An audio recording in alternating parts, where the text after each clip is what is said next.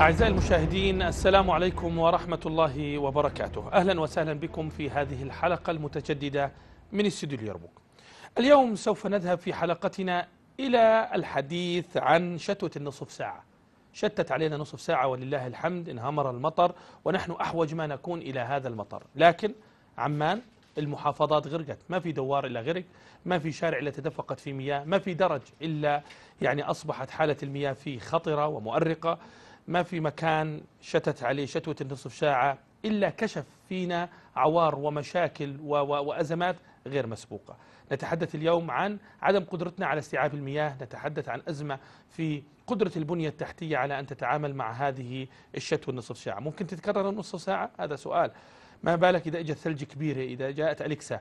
لذلك ضجت مواقع التواصل الاجتماعي بالحديث عن هذا الموضوع. رافض الأداء الرسمي أي بمعنى الأداء البلدي لكن اليوم بدنا نحاول ندخل في حوار حول هذا الموضوع. الحلقة تفاعلية وبدنا نسمع صوتكم من هذه اللحظة. العنوان شتوة نصف ساعة يا جماعة الخير. عمان والمحافظات غرقت. شو بتعلق؟ وهي الأرقام أسفل الشاشة. حاب من هذه اللحظة نسمع صوتكم. رح نسمع صوت المسؤولين. حقهم أنهم يدافعوا عن أنفسهم. حق الرئيس البلدي اللي له سنة فقط إنه يدافع عن نفسه. حقه يتحدث عن مرحلة ما قبل الانتخابات لما كانت في هناك اللجان المعينة. قامت بدورها ولا ما قامت؟ حقه يحكي عن الميزانية والموازنة وظروفها حقه يحكي عن المديونية حقه أيضا يحكي عن قصة الترهل اللي أصاب بنيتنا التحتية بنيتنا التحتية اللي كنا نفاخر الناس فيها في السبعينات والثمانينات. كنا إذا رحنا على دول دولة من الدول العربية الشقيقة يكون أهم شيء عندهم الحديث عن بنيتنا التحتية. بنيتنا التحتية تتهالك تتعرض إلى مأساة كبيرة ومع ذلك لا يوجد هناك من ربما يقرع الجرس. أو يدق على الخزان ويقول أنه في مشكلة في بنيتنا التحتية. أيضا الحديث عن هذه الأزمة أزمة النص ساعة اللي مرت على الأردن شتوة ولله الحمد. إحنا بنتمناها وبنشتهيها إحنا ثالث أفقر دولة في العالم في المياه وبكون بنكون سعيدين جدا إذا شفنا السدود انتلت. وأنا زمان بذكر جدي الله يرحمه بالثمانينات لما كانت الدنيا تجيب زعوق ومطر كان يفرح كان يعتقد إنه هذا المطر راح يكون خير و اليوم الأردنيين بيطلعوا للمطر بقلق. لماذا؟ من الذي أوصلنا إلى هذه المرحلة وإلى هذه اللحظة؟ خلينا نسمع صوتكم في قصة شتوة النصف ساعه ساعة آسف عمان والمحافظات تغرق. لماذا تغرق؟ ماذا تعلق؟ خلينا نفكر بايضا برأس مش حامية خلينا نفكر برأس باردة. وخلينا نتناقش وندخل في حوار حول هذا الموضوع. فوجئنا أن أنفاق أنفاق يعني الأصل أنها هندست بطريقة صحيحة وبطريقة هندسية يعني مريحة تغرق. أيضا فوجئنا أننا نلدغ من الجحر مرتين. العام الماضي إجت أليكسا وكان ما كان. وقالوا إنه السنة إحنا راح يكون في استعدادات كبيرة وإنه إحنا جاهزين والأمور تمام التمام وأنها لن تتكرر التجربة لكنها تكررت. أيضا من المسؤول؟ لن ندين أحد لكننا ندين الجميع. معنا الآن على الهاتف المهندس ياسر العطيات نائب مدير المدينة للأشغال العامة في أمانة عمان. مساء الخير مهندس ياسر.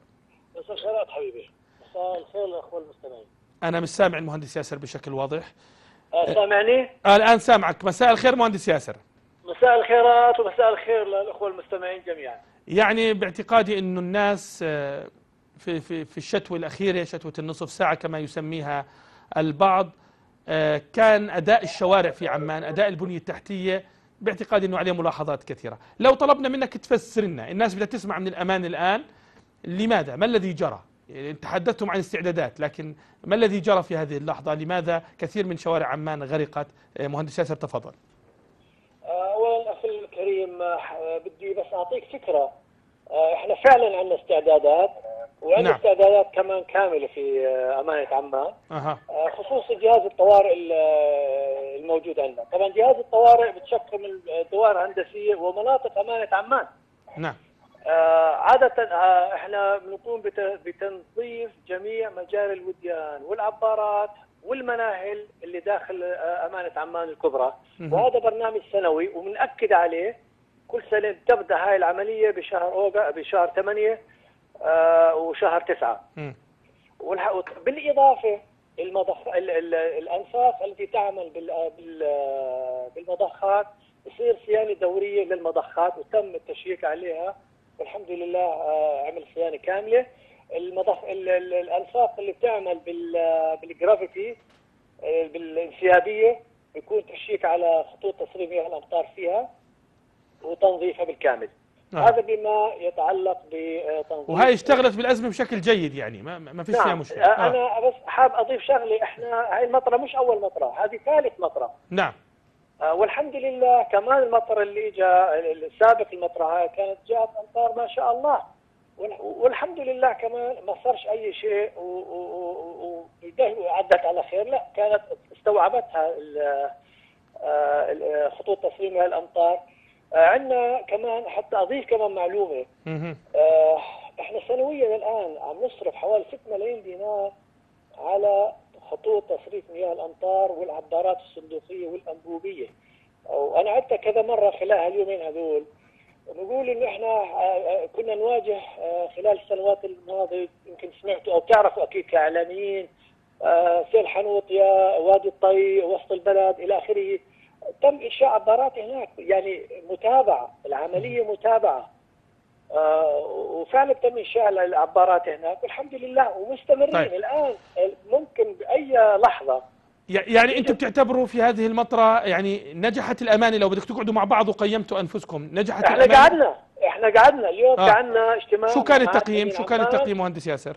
آه قعدنا مع مع الأمين عمان طلبنا اجتماع طارئ للمراجعة. آه كان الاجتماع الساعة 11 الصبح. أها. آه المعنيين. آه كان هناك مراجعة شاملة آه لماذا حصل هذا الموضوع. أها طبعا أول شيء آه، إحنا نقول هاي أمطار خير. ما بنعزي نقول والله إيجابية. هي فعلا أمطار غزيرة. والأمطار الغزيرة لما تدخل على أي عالم ما بحكي على اعصار حتى بس آه، وف- وتفوق قدرة استيعاب الخطوط إلا تتجمع المياه وتطفو. لكن بعد ما تهدى الأمور ال ال ال الأمطار فورا الخطوط بتاخذها وفورا بتروح. آه، اللي حصل عندنا الثلاث انفاق والأربع انفاق اللي آه، اللي تعرضت للمشكلة زي الكيلو والسابع والخامس آه، وال- آه، والصناعة والتجارة. آه، في اختلاف بيناتهم كل واحد له قصة ال- ال- الكيلو أو الحرمين نسميه إحنا تجمع اوساخ هائلة. يعني مبين على وجه المي كمان. طبعا العمال النظافه موجودين عمال الوطن. نظفت الجريلات خلال عشر دقائق المي اختفت بس تجمعت. تجمعت. طيب أنا مهندس ياسر ليش الأوساخ هذه تجمعت؟ ليش ما كنا مستعدين إنها ما تكونش موجودة؟ هذا السؤال. آه أنا بدي أجاوبك. هلا ال- الفتوات السابقة كمان نفس العملية الحمد لله. آه نجحنا وكانت ال- العملية آه سهلة جدا آه ما كان في تجمع آه، مياه امطار لكن المرة هاي وزاره الامطار أدت إلى تجميع هذه الأوساخ من الشوارع مخلفات مواد البناء إلى آخره جمعتها كلياته لأنه كانت كثيفة يعني قوية. فجمعتها على الأنفاق هاي المذكورة.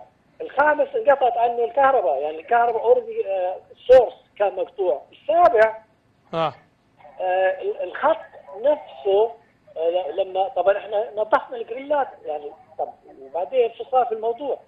نعم. اكتشفنا إنه الخط نفسه مغلق مش يعني شبه مغلق لما آه، جبنا الجت وضربنا الخط طلعنا منه يعني شيء نعم. طيب. شيء علب بيبسي شيء يعني نعم يعني يعني هي بالأخير يعني يعني الأصل يعني أن نستعد لها طيب مهندس ياسر شو بتعلق على ت ت اليوم تصريح آه، معالي عاقل بلتاجي حينما قال آه، قد تتكرر المشكلة نحتاج إلى مليار دينار ماذا قصد بذلك هل قصد إنه في عندنا مشكلة في البنية التحتية نحتاج إلى المزيد من ال- آه، دعنا نسميها المزيد من الخطوط آه، إعادة تأهيلها. فهمنا شو قصة المليار دولار المليار دينار. لا يعني أنا أنا بدي أحكي بشغله يعني بصراحه وبكل شفافية. تفضل. نعم بدنا الصراحة والشفافية. نعم آه إحنا أصلا موجودين في مواقعنا هون لخدمة بلدنا وهي مش مزاودة. أها. موجودين في المواقع هاي إما بننجح وإما بنفشل وبنروح. نعم. آه أنا ما بعرف شو اللي قصده لكن أنا بحكي لك واقع الحالي إحنا عايشينه. مم. آه ما بدنا يعني ورجاء ما تفهموا تفسيري إنه هو أعذار. نعم. آه عمان تعرضت لهجرات كثيرة. زاد عدد السكان فيها فجائي. صار فيها مش توسع عمراني مخطط له. لا بصراحة. أصبحت هناك عشوائية في البنى.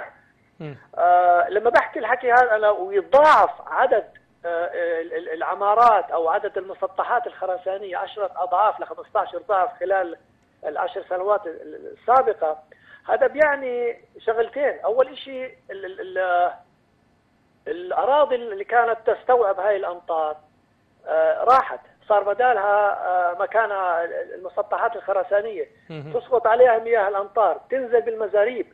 المزاريب إما للأسف الشديد كمان ال- التصرفات اللامسؤولة من بعض إخواننا المواطنين أو المقاولين أو ال- أصحاب الإسكانات بوصلوا الخطوط هاي إما على الصرف الصحي أها أو أو على الشوارع بتفيض مناهل الصرف الصحي اللي هي مش مسؤوليتنا لكن إحنا آه، يعني مسؤولية تشاركية بالنهاية. بتصير تتفاقم المشكلة بتصير مشكلتين بتصير مشكلة يعني يعني. هناك مسؤولية على وزارة المياه أيضا الجميع مشترك آه. حتى الأرصاد الجوية كمان حتى أنت لو. قريت نسبه الأرصاد الجوية اليوم صح شو بتقول؟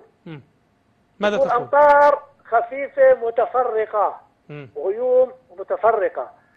ولكن إحنا يعني خلص بداية الشتاء معتبرين حالنا إنه إحنا في حالة طوارئ، إحنا حالات الطوارئ عندنا مقسمه إلى خفيفة متوسطة. وقصوى. أعلنا المتوسطة يعني حسبنا حساب لأنه شتت قبل أسبوعين وكانت غزيرة كمان. فاحتطنا للموضوع. نعم.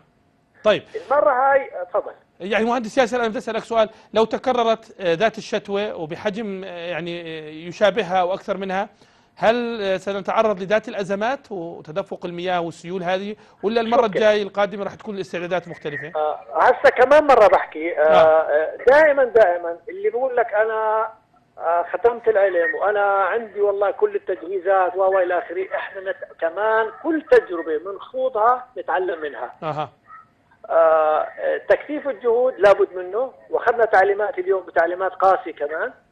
آه، طبعا آه، بالمحاسبة حتى حتى إحنا بدنا نتحاسب ونحاسب. نعم بما معناه هذا لا يعني التقصير لا أنا ما بحث تقصير هل هل تكثيف أحد الجهود. اليوم هل حملتم المسؤولية لأحد بينكم وبين بعض. بدون ما نسمي بصراحة إحنا كلياتنا اشتغلنا يد واحدة فريق واحد في الأمانة آه آه، تعاونت المناطق معنا مع إحنا عندنا فرق الامانه والدوائر الهندسية بالكامل. هل شكركم الأمين أم لامكم اليوم؟ آه، بصراحة لا طلب منا تكثيف الجهود وطلب منا المعلومات وبكل شفافية وماذا حصل. نعم. طبعا آه، أول نداء صدر امبارح أو آه، أمس كان من طرفه. نعم. كان الساعة 11 الصبح بيعلن فيها إنه ما بدي أسمع تقولوا إنه عندي آلية خربانة أو كذا استأجروا. مم. هذا على الجهاز وبعرفش إذا عندك ناس في الأمانة بينقلوا لك الخبر نعم فكان أول توجيه له ما بدي أسمع كلمة آلية معطلة مهم. بدي حتى لو اضطريت تستأجروا استأجروا نعم. اذا التعليمات واضحة ما بدناش عذاب هذا طيب. هذا الهدف مهندس. ياسر قرأت التواصل الاجتماعي والناس والأردنيين كم كانوا غضبانين على أداء الأمانة؟ آه طبعا إحنا والله ما في الوقت الكثير اللي نستمع فيه لأنه إحنا في يعني أنا الآن بحكي معك بالسيارة. نعم. والله العظيم بالسيارة. نعم. عم قاعد بأخذ جولة. أها. طيب. آه يعني حالة الطوارئ عندنا مستمرة. بنطلع نعم. هلأ عملنا جرد كمان مرة. على فكرة أنا كمان بدي أذكر شغلة. حتى الامطارات. السابقة بنشوف وين صار في تجمعات مياه أمطار. وبنعمل عليها تزويد إما الخطوط أو المناهل يعني جريلات تصريف مياه الأمطار أو حتى إيجاد حل لو ما فيش حل موجود هناك أصلا. وبنزودهم بتزويد التعزيز يعني خطوط تصريف أو الجريلات أو إنشاء خط جديد. مهم. لو بتلاحظوا الفرق بين السنة هاي والسنة الماضية. يمكن كثير من المواقع الحمد لله تم إنجازها. أنا لكن بدي أسألك سؤال آخر مهندس. ياسر. مهندس ياسر سؤال آخر.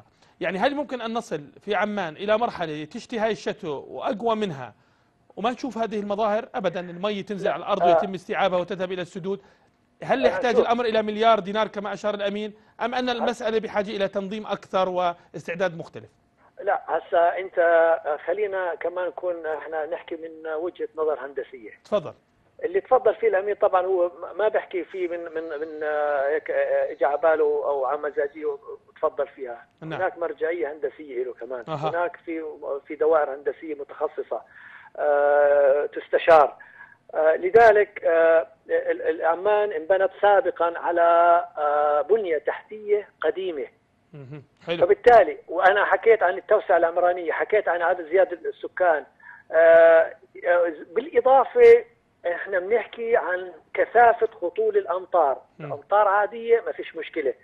زادت نسبة هطول الأمطار في أي مدينة في العالم لابد إلا ترتفع منسوب المياه، لكن دورنا وين بيجي؟ آه، ال- الاحتياط. آه، ناخذ احتياطات اللازمة. زائد إحنا لازم نكون على متابعة مستمرة لخطوط تصريف المياه الأمطار مشان لا تغلق.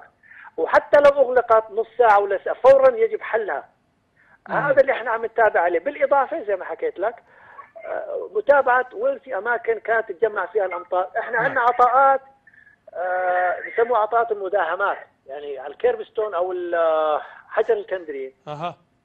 عمال ننشئه كمان على أطراف مثلا آه، بعض الأودية بعض الجبال اللي فيها أو المرتفعات البسيطة اللي ممكن تتسرب منها التربة إلى آخره. لكن تقدرش تلحق على كل. عمان خلال سنه أو سنتين أو ثلاث نعم يعني فعلا إذا آه، آه، بدك تبني عبارات داخل عمان كلها أكيد بدك أنت المبالغ نعم. هاي بدك المبالغ كبير. طيب مهندس ياسر أنا بدي أشكرك وأنا يعني بأكد على شكر كل من قام بعمله في في هذا الأمر وأنت طرحت وجهة نظرك ويعني يبقى الجمهور هو الحكم في في هذه الأمر. وبتمنى إنها ما تتكررش الأزمة مرة أخرى. المهندس ياسر آه، العطيات نائب مدير المدينة للأشغال العامة في أمانة عمان. شكرا لك. شكرا لك مرة أخرى. إذا يعني سمعتم المسؤول في المطر أتى بالخير وازدانت كل الأرجاء. قد أهدى الفرحة للبشر يساعدها في كل مساء. قطر المطر أتى بالخير وازدنت كل الأرجاء. قد أهدى الفرحة للبشر يسعدها في كل مساء.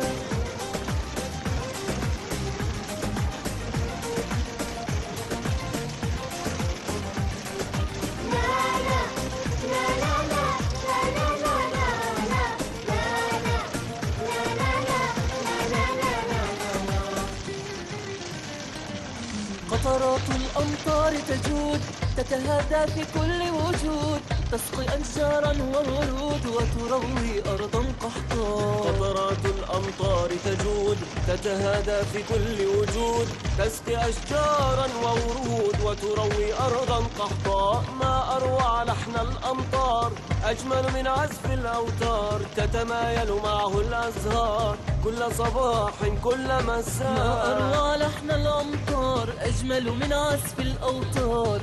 تتمايل معه الأزهار كل صباح كل مساء.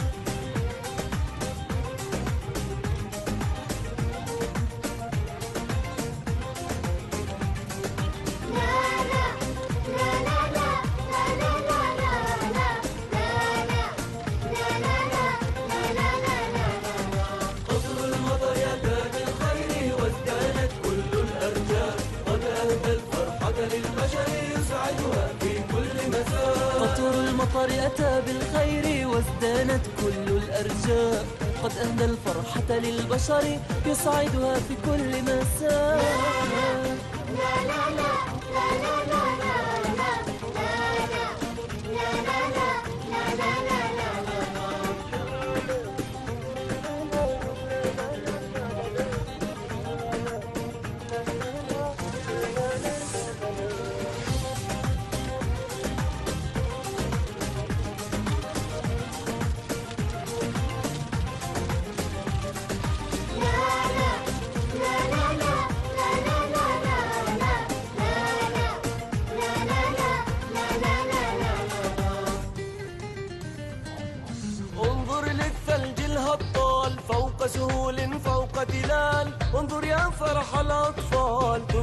ألحانا وغنى. انظر للثلج الهطال فوق سهول فوق إذا. مشاهدينا بدأنا بالمهندس ياسر العطيات آه، المسؤول في الأمانة.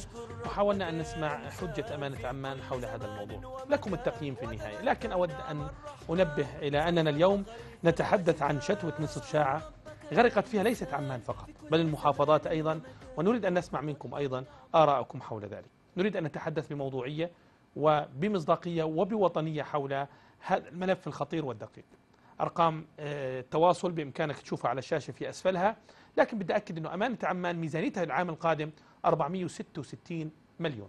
بتعرفوا إنه أمانة عمان بتأخذ آه، مخالفات سير 30 مليون. وين بتحطها؟ على الرصيف ولا مش على الرصيف؟ بنشوف بنية تحتيه أو بنشوفش قبل ذلك آه، الآن معنا على الهاتف المهندس حسين المومني مدير المركز الوطني للتنبؤات الجوية. مساء الخير مهندس حسين. آه، مساء الخير أخي عمر ومساء الخير لجميع الأخوة المشاهدين. بس الصوت ضعيف جدا أخي عمر. قولنا الصوت للمهندس حسين قولنا الصوت. مهندس حسين سامعني أحسن الآن؟ يعني اتفضل تفضل. إحنا سامعينك كويس إن شاء الله إنك تسمعنا. اولا يعني بدي أسألك سؤال. هل ممكن شتوة النصف ساعة اللي شفناها هاي تتكرر في الشتاء؟ بمعنى حجم الأمطار يعني وكثافتها في خلال فترة زمنية ضيقة ممكن يتكرر ولا فقط يكون في تشرين؟ آه الثاني يعني ما نشوفش هذا الأمر في في القوانين وفي الأيام القادمة. يعني ك آه، يعني أخي عمر ما دام هذا من رب العالمين كل شيء وارد. الحمد لله. ما دام من رب العالمين ليس يعني ليس في تحكم. ها. يعني خلينا خلينا إحنا نحن مؤمنين بالله يعني. آه، فأمر طبيعي إنه يتكرر وعادي. لكن حقيقة يعني هو اللي اللي حدث آه، يوم أمس إنه كانت ال- ال- الأمطار آه، في بعض في في لحظات غزيرة ولفترة قصيرة صحيح يعني الأرض لم تستطيع استيعاب هاي الأمطار أيضا أيضا ممكن ال- ال- ال- المناهل العبارات آه، لم تستطيع استيعاب الأمطار التي هطلت نعم. آه، ب- ب- ب- بفترة بسيطة جدا. آه، اثنين آه، يعني آه، أنا أحترم آه، رأي جميع إخواننا إن كانوا بالأمانة وحتى المواطنين نعم. لكن والله يا أخ يا أخ عمر اللي بيتابع النشرات الصادره عن دائرة الأرصاد الجوية منذ إنه منذ بدأت هذه الكتلة الهوائية الرطبة والمصاحبه لهذا المنخفض الجوي ونحن نحذر من طيب. تشكل السيول مهندس حسين مهندس حسين. معل... ما... بدي أقطع عليك معلش. قبل شوي كان معنا المهندس ياسر عط... العطيات نائب مدير المدينة للاشغال العامه نعم. قال إنه الأرصاد الجوية قالت أمطار خفيفة في ذلك اليوم. هل هذا صحيح؟ آه، يعني أنا آه، أحترم الأخ ياسر وأحترم جميع ال- ال- ال- ال- الإخوة اللي اللي بينتقدوا اللي بينتقدوا الأرصاد الجوية. إحنا لم نضع بنش بنشراتنا أمطار خفيفة نهائيا إنما هي زخات من المطر مصحوبة بالرعد نعم. نعم وكلمه زخات. مصحوبة بالرعد معروفة دائما بكثافتها ولا صححني نعم زخات مصحوبة م- مصحوبه مصحوبة بالرعد معنى ذلك إنه آه، ممكن يكون هناك مطر غزير هذا نعم. هو المقصود مهندس حسين في تنسيق بينك وبين هذه الجهات أحيانا؟ يعني في الفترة الأخيرة إذا بتتذكر مجلس الدفاع المدني لما انعقد وقاد الجلسة اللي هو الدكتور عبد الله نسور كنتوا أنتم موجودين. آه، ها- هاي التنسيق أو التناغم أحيانا بيكون آه، يعني عن طريق زي أنا زي المواطن بسمع من بعيد ولا في اتصالات بينكم وبين البلديات والأمانة وال- والدفاع المدني؟ يعني في حالة تشبيك بين المؤسسات هذه؟ إحنا آه، أخي عمر غرفة العمليات اللي بالمركز الوطني نعم. هي تعمل على مدار الساعة. وأيضا آه، هناك ارتباط آه، مع جميع غرف العمليات آه، في المملكة زائد بأنه جميع ال- ال- ال- المؤسسات الحكومية والدوائر الحكومية تصلهم نشرتنا يوميا. أها. يعني في تنسيق تنسيق وثيق وعلى مستوى عالي. نعم. يعني نعم. أنت أنت مهندس حسين راضي عن أداء دائرة الأرصاد في قصة أزمة النصف ساعة الأخيرة اللي كانت آه، شتوية. راضي عن ال- ال- الأرصاد الجويه قدمت المناسب والممكن والمتاح وكان بالإمكان آه، أن يستعد نعم. بناء عليها. نعم أخي عمر يعني آه، الأرصاد الجوية آه، هي تطلق نشرات جوية لكن الباقي يبقى إلى الميدان، الميدان هناك يعني هناك أخواننا بالميدان ما أتوقع أنه بتوقع أنه كانوا على اوبه الاستعداد، بتوقع انه قاموا بك- بكل ما يمكن، نعم. لكن إحنا في دائرة الأرصاد الجوية كما تعلم لا آه، يعني هي نشرة جوية وتحذيرية أها. نوصلها إلى إلى إلى إلى جميع تصل إلى جميع غرف العمليات طيب. في المملكة جميل ف فالاداء يعني آه، ليس أنتم راضين عنه طيب مهندس يعني- حسين سؤال آخر في شيء نعم. فوق الطاولة وتحت الطاولة يعني مثلا في آه، منخفض جوي في ثلج. بتحكوا للمواطنين إنه في ثلوج. لكن إذا كان قاسي وبتكونش تخوفون المواطنين بتبلغوا الجهات المعنية بإنه ال- الوضع ربما يكون يعني شديد اللهجة؟ يعني في شيء تحت أخي، الطاوله آه. أخي عمر حقيقة إنه إحنا في دائرة الأرصاد الجوية نعمل بكل شفافية. نعم. بكل شفافية ولا نحجب أي معلومة نهائيا. يعني يعني حتى المتنبي الجوي اللي بيكون مناوب معه الصلاحيات كاملة إنه يعطي عن الأجواء آه، حتى لو كانت قاسية. نعم. يعني أنا- لا, لا لا لا لا يعني لا يحجب معلومة عن المواطن. نعم. هذا هو يعني هذا هو هدفنا. هدفنا إنه آه، دائما وابدا نوصل المعلومة إلى المواطن ونحافظ على الممتلكات ونحافظ على المواطن. فلا لا نحجب المعلومة لأنه نعم. هذا مهم جدا إنه المعلومة تصل إلى إلى إلى جميع المواطنين حتى يعني يأخذوا الحذر. مثلا مثلا بهذا بهذا المنخفض الجوي نعم. والكتله الهوائيه لأنه كنا عارفين إنه هاي الكتله الهوائيه رطبة وممكن إنه في بعض الأحيان تكون أمطار آه، غزيرة في بعض الأحيان. كنا نحذر منذ خمسة أيام أو ستة أيام بإنه راح يكون هناك تشكل للسيول في المناطق المنخفضة وأيضا على ضفاف الأودية. وكنا نحذر الأخوة. المواطنين. نعم. آه، آه، يعني تحذيراتنا أنا المناطق أنا, أنا المنخفضة. بشهد أنا بشهد اتصلت فيك وحذرت من تشكل السيول في المناطق المنخفضة أنا بدي أشكرك المهندس حسين المؤمني مدير المركز الوطني للتنبؤات الجوية شكرا لك ومسيك بالخير أنت وجميع العاملين في المركز اذا كما أشرت إنه إحنا اليوم يعني حابين نسمع أيضا صوت المواطنين تعقيباتهم وتعليقاتهم بموضوعية وعلمية حول هذا المنخفض. العنوان اللي إحنا رحنا إنه اليوم إنه شتوه نصف ساعة غرقت فيها عمان والمحافظات. ماذا تعلق؟ وبدأت الاتصالات تأتي إلينا. معنا الأخ أمجد الخلايلي. تفضل أمجد. عليكم ورحمة الله وبركاته. وعليكم السلام ورحمة الله. هلا أخوي أمجد. سكان مدينة العقبة محافظة العقبة. يا مرحبا. هلا أخوي أمجد. حسين المؤمني الأرصاد الجوية صادق في كل كلمة حكاها. نعم. قالوا يوم الاثنين عتلات أمطار غزيرة. ستكون أمطار غزيرة في وسط المملكة وجنوب المملكة وحذروا وهذا الدفاع المدني حكى أنا خايف على الجنوب من الوديان. أها. ولكن معالي آه، الأخ الأستاذ آه، ياسر العطيان مع احترامي له أنا منظمة حقوق إنسان. أنا بقول كلامه غير صحيح لما يقول أمطار خفيفة. اطلب أمطار خفيفة. وين جهزيتك؟ هذا إهمال. والإهمال يوجب المسؤولية. أين كلمة الإهمال يوجب المسؤولية بالنظام والقانون والدستور الأردني ما معنى الإهمال يوجب المسؤولية؟ يجب أن يحاسب هؤلاء كل ي- أمانة يعني. يعني بدي أفهم منك حكم أخوي أمجد. المسؤولية أخوي على أمجد. أخونا أمجد. نحن بالجنوب أخذنا احتياطاتنا. فكيف أمانة عمان؟ هذا إهمال اذا واضح. اذا أخونا أمجد بيقول إهمال يتوجب المسؤوليه والمساءلة. اذا يرى أنه إهمال من الأجهزة. يعني وبدنا مرة أخرى أشكرك أخونا أمجد الخلايلي نعم. بس الأستاذ معالي عقل بلتاتي طلع على التلفزيون قال أنا اثنين مسؤولين عني واحد الله يسهل عليه عن جلالة الملك حسين الله يرحمه والثاني جلالة الملك عبد الله الله يطول عمره. نعم. هؤلاء هم المسؤولين عن طيب أخونا أمجد أخونا أخونا أو بدناش. بدناش نروح أبعد من يعني شكرا أخونا أمجد وزراء الخلايلي شكرا شكرا. شكرا أخونا أمجد إحنا ما بدنا نروح. أبعد من ال- ال- المتاح في الموضوع. يعني إحنا ما بنعرفش إذا حكى على التلفزيون أو ما حكاش لكن بدنا نناقش بموضوعية. الآن هناك مسؤولية هناك خطأ هناك خلل من يحاسب؟ أمين عمان من يحاسبه من هي الجهة التي تحاسبه؟ للمعلومات. كل البلد البلديات بالانتخاب إلا أمانة عمان تأتي بالتعيين. هذا هذا هذا هو السؤال. ما هي آليات المحاسبة؟ حينما يحدث تقصير بهذا الشكل هناك أيضا علامات استفهام وتعجب حول هذه القضية. أنا بتمنى أنه نناقش أيضا بطريقة أنه هذه البلديات مش بس بلدية أمانة عمان اللي غرقت يا جماعة الخير.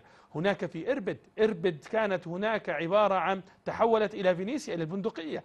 ورئيس البلدية تحدث وبتمنى إذا كان معنا اليوم إن شاء الله بنحاول يكون معنا.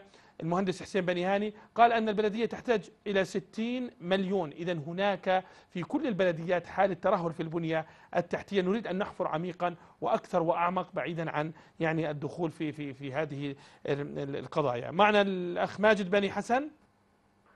ألو. تفضل أخوي ماجد تفضل. مساء الخير أستاذ عمر مساء الخير المستمعين الكرام. يمسيك بأنوار النبي. يا مرحبا أهلين فيك. آه، أستاذ عمر معلش بدي تعطيني وقتي. يا أخي أنا بدي أسولف على البنية التحتية كاملة. آه. اليوم تقول لي دي 22 مليار دينار على الأردن بالدينار ومنها قديش بيجينا؟ وضرائب ثلثين بثلث والبنيه التحتيه مدمرة. اثبت بالأردن إذا بدك تشتغل حرامي استلم. رئيس وزراء ولا وزير ولا نائب ولا موظف بالديوان الملكي ولا بالضمان الاجتماعي. فانا هذه صرخة مستغيث. إذا حضر صاحب الجلالة الملك عبد الله الثاني المعظم إنه مثل ما حكيت على راديو البلد اليوم. وعلى قناه الحقيقة الدوليه وعلى قناه سيفن ستار يا إما بيستورد لنا مسؤولين من برا يا إما بحطوا لنا جبهة لعمل الإسلام. أشكرك ماجد أشكرك. لا. عمر أخوي عمر. أشكرك ماجد شكرا لك. يعني إحنا وضحت الفكرة أخوي ماجد. لا إحنا إحنا عندنا مسؤولين وبننتج مسؤولين لكن في آليات لإنتاج النخب. مضروبة ولذلك أنا أنا مرة أخرى ما بنطالب ولا بناشد إنه نجيب مسؤولين من برا لا هناك مسؤولين لكن آلية أحيانا إنتاجهم وفي مسؤولية أعمق من ذلك. راح نروح للآن الاخ عطل عيسى من المفرق تفضل أخوي عطا تفضل.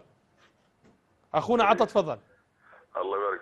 سيدي العزيز أنا هو موضوع واضح- يعني. تفضل أخوي. هو هو تقصير وبنيه تحتية متهالكة. حلو. وعدم محاسبة. أها. هذول ثلاث شغلات المهمات بهالموضوع. نعم. يعني إذا- وبعدين بدي أقول لك شغلة أنت لو سافرت برا. بتلاقي حتى الشوارع بالدول الخارجية بتلاقي شارع خدمات آه صحيح. مصارف لل- للشوارع يعني إحنا بنلاحظ كلها مكسرة الطرق. صحيح صحيح. شكرا أخوي عطا. أنت يعني جي-. شكرا لك أخونا عطا العيسى من المفرق. بتحدث إنه في مشكلة في تهالك البنية التحتية. لماذا لا يعاد إنتاجها؟ لماذا؟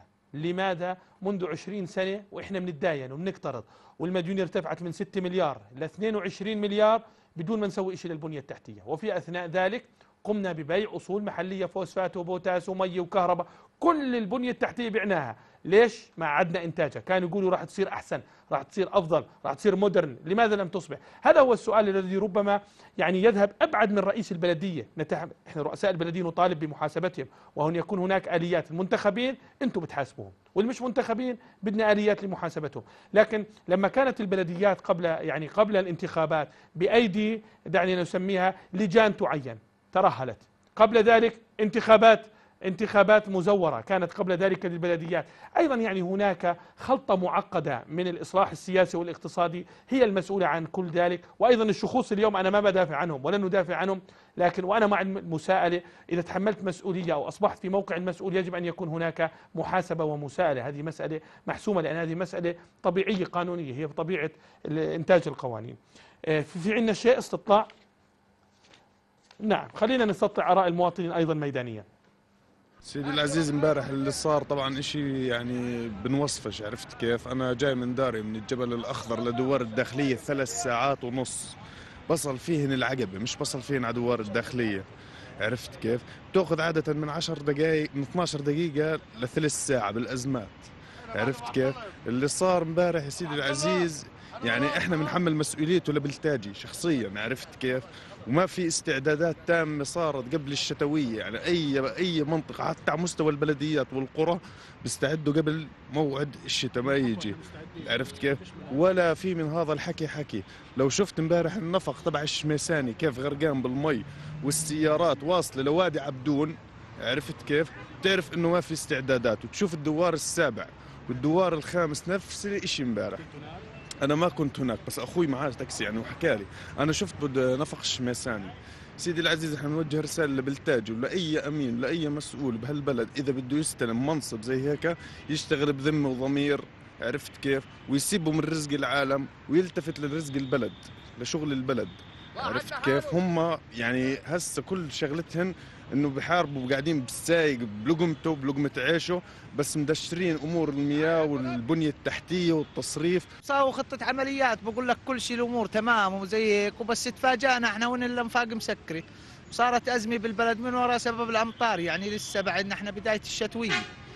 لسه لا فتينا ولا غمسنا. المسؤول على الشغلة أكيد أمانة عمان لازم تكون استعدادها تام لفتح العبارات وشيل المي ودائما تكون مع المواقف اللي زي هيك عشان تمشي أمور آه، السير والسيارات والبلد وهيك شو بيجيبوا الغني ما بيجي ما بيشوف. شو الفقير بيصير بيصير معاه؟ إحنا بن- بنليط في الطينه نص متر واحد بتغرق رجليه وما حدا فيهم سهل يا زلمة. خليه على الله. امبارح أنا طوفان طو والله طوفان عند المحافظ على زاويه المحافظ السيارات نصها طفنها في صياغها طب هذه ما هي؟ أنتوا تضررتوا كسواقين. بقول لك هذه هذه طول عمرها المنطقة واطيه زاوية المحافظ روح اطلع عليها خافت لاعلى درجة. طب هذه بت... يحطوا لهم فيها قلاب زفتي وسووها. يعني مع الأسف الشديد المياه كانت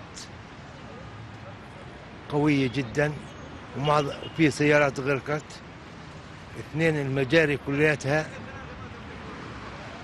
مسكرة ولا في منهل فاتح ولا في تصريف مياه. مع الأسف الشديد هذا الشيء. عدم أخذ الزبالين قاعدين بيرموا في المجاري والمفروض أنهم يصلحوا المجاري المناهل الله يعطيهم العافية على كل شيء. بس إنه يكون في عندهم حيطة وحذر آه، أكثر من هيك. يعني امبارح وسط عمان كان فيضانات المي دخلت على وسط المحلات. فكان الوضع صعب يعني كنا نحمي المكانس ونفتح المناهل. نحمي المناهل إحنا عكس عكس اتجاه المي إحنا كمواطنين نعم. استمر تقريبا أكثر من نص ساعة. الناس غرقت يعني كان الوضع صعب. فإحنا بنتمنى من يعني أمين عمان من المسؤولين المهندسين ال- ال- المفروض يعني يكون آه، الوضع أفضل من هيك. يعني هذا جديد يعني اشتغلوا هذا الرصيف في وسط العاصمة. المفروض إنه عملوا تحويلات جديدة وعملوا أرصفة جديدة.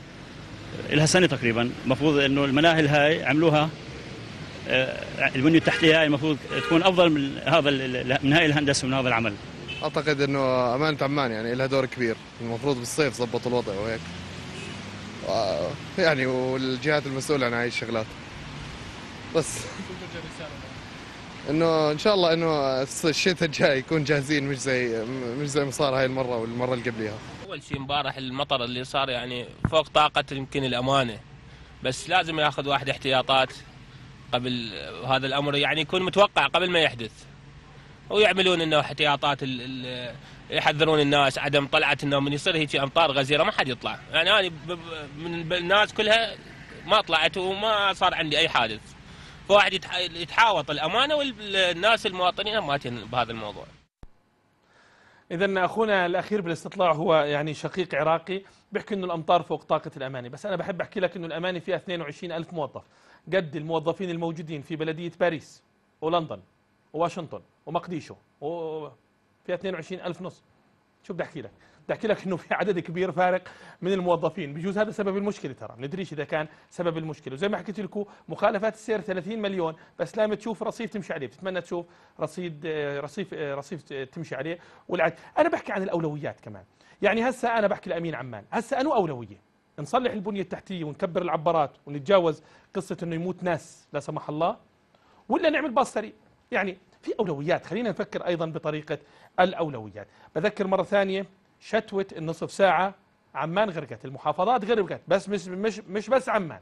مش بس عقل بلتاجي مش بس عمان هي اللي غرقت أيضا المحافظات غرقت. إربد تعرضت لذات الأزمة وأيضا كثير من المناطق تعرضت لذات الأزمة وشفنا صور وشفنا على مواقع التواصل الاجتماعي في كل مكان في كل مكان. لو شفتوا درج شا- شارع الحمام في السلط عبارة عن يعني فيضانات مياه كانت تتدفق من هناك. كل المناطق تعرضت لذات الأزمة حابين نسمع منكم شو بتعلق. وهي أرقام هواتفنا موجودة أسفل الشاشة. تواصلوا معنا وخلينا مرة ثانية نحكي بعقلية باردة. يعني نحاول نفكر بطريقة أو بأخرى.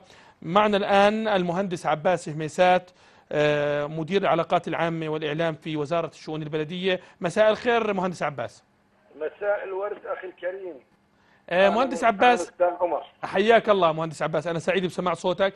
آه، فيما يتعلق بما جرى يعني ال- اللي هي الغرق اللي صارت لكثير من المناطق في البلد وزارة البلديات دورها طريق يعني ما هي علاقتها بالبلديات هنا يعني وزارة البلديات تحديدا؟ وكيف فسرتوها أنتم في وزارة البلديات؟ إحنا أستاذ الكريم أستاذ عمر أول شيء بسم الله الرحمن الرحيم. آه، بداية إحنا في وزارة الشؤون البلدية بتوجيهات من معالي وزير الشؤون البلدية معالي المهندس وليد المصري. نعم. قمنا بتشكيل غرفة عمليات في وزارة الشؤون البلدية آه، على مدار ال 24 ساعة إن شاء الله. آه، يرأسها كبار موظفي الوزارة. وموظفين. سيكون هناك أرقام هواتف وفاكسات تستقبل جميع الشكاوي للبلديات سواء في جميع المحافظات. حلو. وقمنا بتعميم عاجل جدا لرؤساء البلديات ورؤساء مجالس الخدمات المشتركة ومدراء الشؤون البلدية في جميع المحافظات في المملكة. آه، لاستقبال فصل الخير والتأكد من صلاحية جميع الآليات الموجودة لديهم وتنظيم كشوفات تتضمن نوع الآلية ومدى صلاحيتها حتى طلبنا منهم اسم السائق وعنوانه نعم شو شو كانت التغذية الراجعة؟ شو شو وصلكم مهندس عباس؟ شو وصلكم عن أوضاع البلديات في النص في, في الشتوى الأخيرة؟ شو وصلكم؟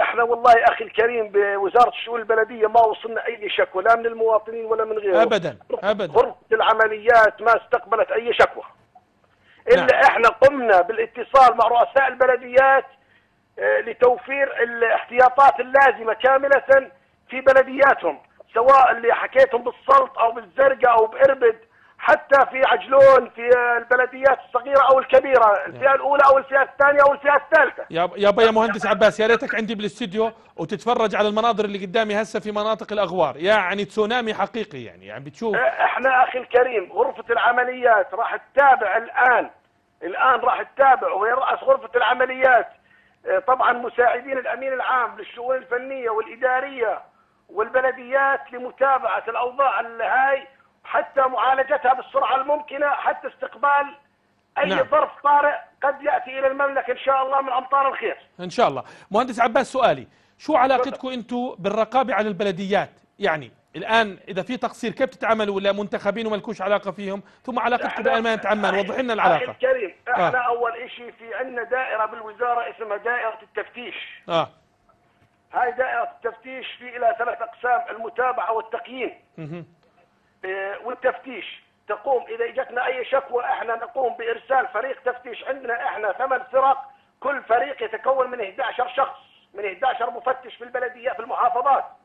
وعندنا ما يقارب 87 مفتش نعم أي شكوى نستقبلها فورا يطلع فريق التفتيش طب اذا اذا إذا ما. جاش شكوى وشفتوا هالفيديوهات وعمان بتغرق شو بتتصرفوا بالله مهندس عباس آه، عمان قلت لك إحنا إن المناطق المتداخلة هناك والبلديات آه هناك تنسيق بين أمانة عمان وأما نعم. آه، وبلدي والبلديات ووزارة الأشغال بما يتعلق فيما نعم. يتعلق بالمناطق المتداخلة أها. كناعور أم البساتين الجيزة حسبان. أها. وهناك تنسيق مستمر راح يكون بيننا وبين أمانة عمان ووزاره الأشغال فيما يتعلق بأي ظرف قد يأتي إلى المملكة إن شاء الله. نعم. يعني أنا بتمنى عليك مهندس عباس إنك آه، تصل إلى مواقع التواصل الاجتماعي وتكتب تقرير كبير للمهندس وليد المصري وتفرجيه اللي صار اللي صار إحنا كان. طبعا آه. إحنا آه. أستاذ الكريم أستاذ عمر إحنا طبعا فريق التفتيش راح يطلع فورا. أها. بايعاد من بتوجيهات من معالي الوزير للاطلاع على أرض الواقع ونشوف وين التقصير وإحنا ابدا إحنا جاهزين لاستقبال أي شكوى. نعم. وابواب مكاتبنا مفتوحة وهواتفنا مفتوحة ومكاتبنا مفتوحة حتى معالي الوزير.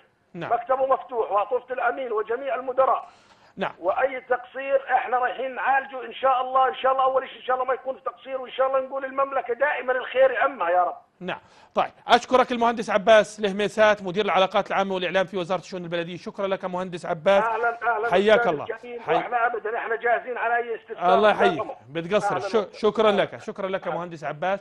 اذا وزارة البلديات أيضا يعني هناك القانون الجديد والتداخل في الصلاحيات آه، باعتقادي انه المسألة يعني قصة الرقابة تبقى رقابة شعبية على المنتخب. يعني بمعنى شخص انتخب أدى ما أداش قام بدوره. يعني هذه المسألة مرة أخرى تعود لكم كجمهور. رئيس بلدية ما أداش. وأنا بذكر رؤساء بلديه كانوا قامات يعني استلموا بلديات وعملوا فيها العجب العجاب وكانت مديونة وحولوها من بلديات مديونة إلى بلديات آه، يعني و- وتربح وتقدم الكثير الكثير وأصبحت يعني منها بلدية الزرقاء والشيخ ياسر العمري واحد- واحدة من الأمثلة التي كانت والتي لازلنا نتغنى فيها. أحيانا ه- هذا هذا الخيار لك كمواطن بدك تراجعه 100 مرة آه، يعني مش لازم تروح دائما على الخيار الجهوي الجغرافي. روح على الخيار اللي بيقدم لك خدمات يا أخي مشان الله. خلينا نتعلم مرات من القرصة اللي بننقرصها. لذلك إحنا لازم نراجع أنفسنا كمواطنين حينما نختار رئيس البلدية. قطر المطر أتى بالخير وازدانت كل الأرجاء. قد أهدى الفرحة للبشر يساعدها في كل مساء. المطر أتى بالخير وازدنت كل الأرجاء. قد أهدى الفرحة للبشر يسعدها في كل مساء.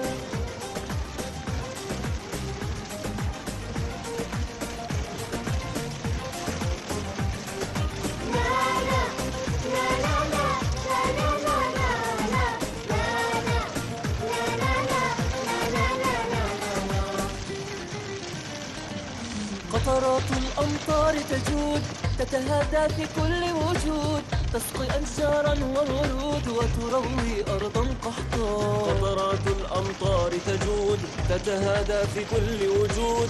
تسقي أشجارا وورود وتروي أرضا قحطاء ما أروع لحن الأمطار أجمل من عزف الأوتار. تتمايل معه الأزهار كل صباح كل مساء. ما أروع لحن الأمطار أجمل من عزف الأوتار.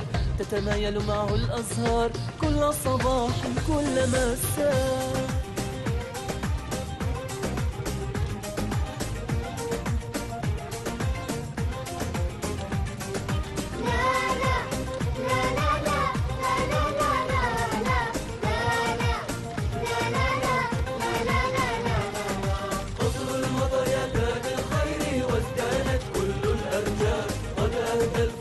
للبشر يسعدها في كل مساء. قطر المطر أتى بالخير وازدانت كل الأرجاء. قد أهدى الفرحة للبشر يسعدها في كل مساء. انظر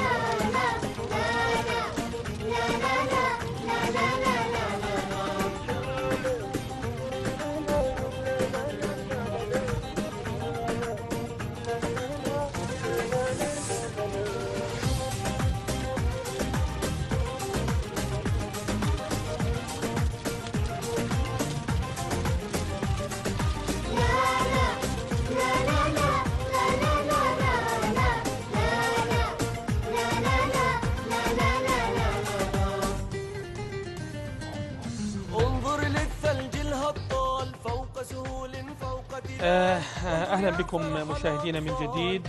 إذا نتلقى اتصالاتكم مرة أخرى. الحديث عن شتوة النصف ساعة. بعرف جزء ربع ساعة كانت.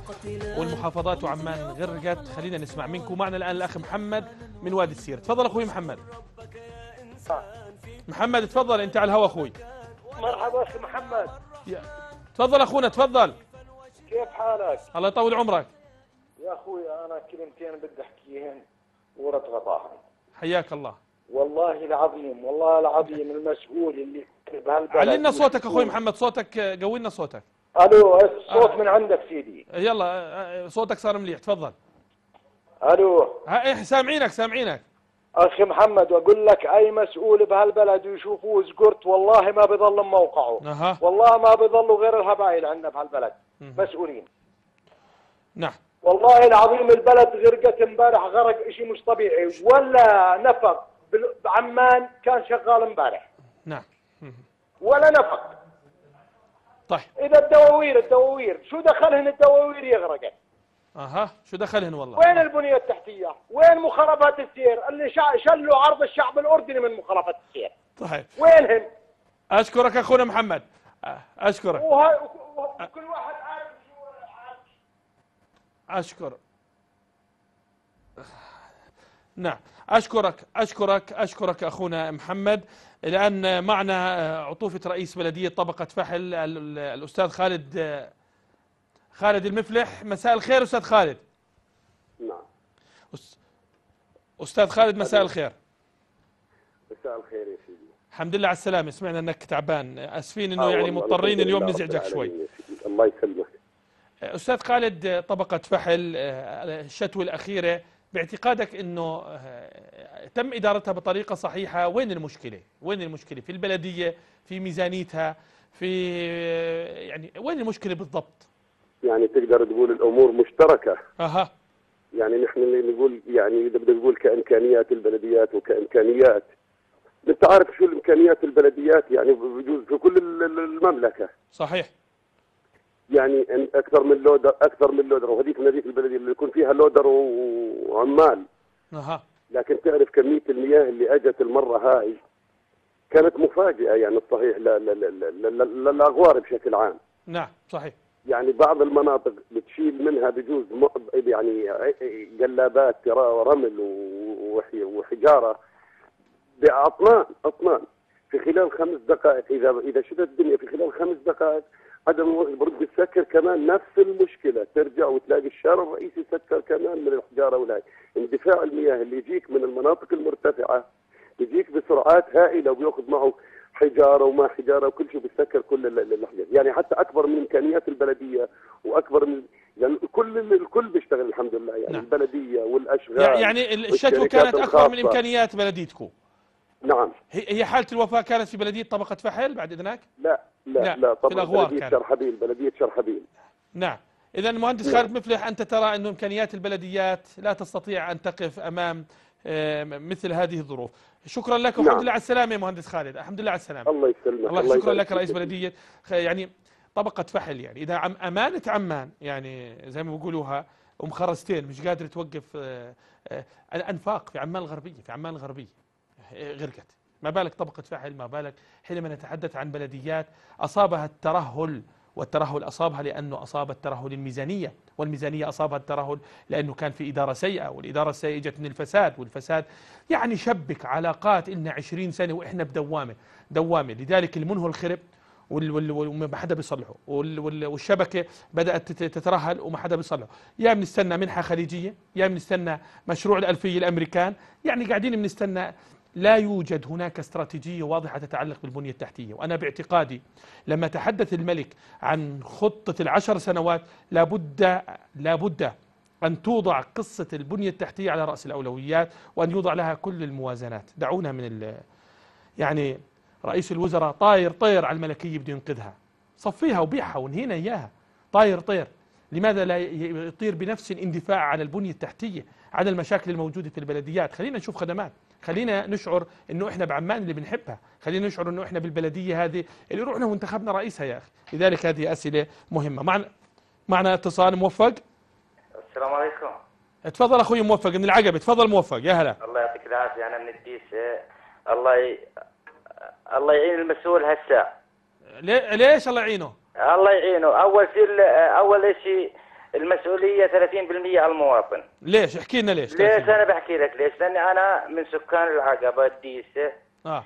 أه بطلع العمان بشوف بعض المواطنين بيرموا النفايات داخل ال- المناهل نعم. هاي من 100% اثنين المسؤول شو بدي لحق على المواطن. أنا مش منحاز لعقل بلساجي ولا هذا بس الحقيقة تنقال. أنا مدير أشغال العقبة قبل أسبوع شفته وأنا ماشي مع الطريق. نظف العبارات جرافات هذا تنظيف العبارات استعدوا لل- لل- للمرحلة هاي. هذا اللي خلى ما صار عندنا آه، فيضانات أو شيء الاستعداد صح مضبوط هو. ولكن آه، كمان في كمان على المواطن يعني الأخ العراقي في تعليقه قال أنا ما طلعت. يعني الاردنيين عندنا حب الاستطلاع. دائما نطلع. بدنا نشوف. إحنا أنا بسوي ازمه إذا بطلع. نعم. ليش أنا ما اظل اليوم في شتاء ما اظل ببيتي أو أظل بمركز عملي. يعني أنا بدي ب-. بدي بدي أحترم رأيك إنه المواطن آه، يعني له دور في هذه المسألة بس شتت الساعة 12 30% 30% 30% أنت حر هذه بالأخير يعني تقديراتك. لكن لكن المواطن الساعة 12 بعمان بكون بالشارع. الحركة بتكون في عزها لما نحكي عن فترة الظهيره بحترم رأيك أخ موفق وبحكي نعم المواطن أحيانا بيقصر لما ينتخب رئيس بلدية على أسس غير صحيحة بيقصر لما يهمل في قضية المنهل بيقصر لما. معك والله صحيح. يعطيكم العافية. الله يحييك. شكرا موفق شكرا شكرا على الله مداخلتك. يعطيكم العافية الله يعطيكم شكرا شكرا. اذا خلينا نعود مرة أخرى صور حصرية لقناة يرموك للاغوار أنا آلمتني آلمتني الأغوار وطريقة المياه التي كانت فيها يعني عمري ما تخيلت يكون عندنا هيك. خلينا نشوف اللي كان بالأغوار.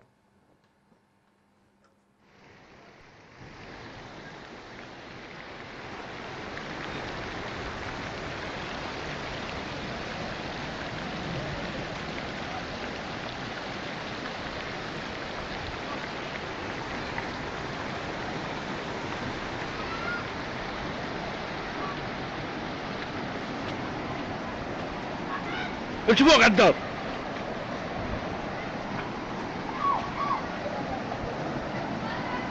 وزارة خلفاء عتمية فوز ميلاد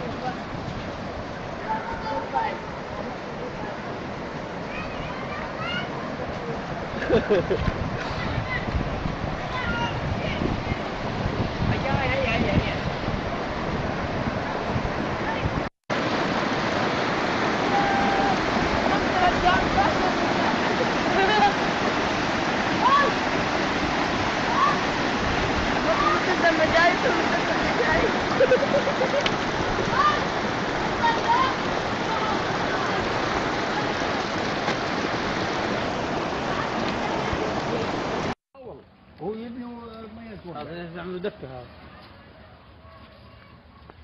بعده عامله دكه واقع. وقع مية قوية يعني الميه صارت اعلى من الدنيا الميه اقوى من النار طيب عمر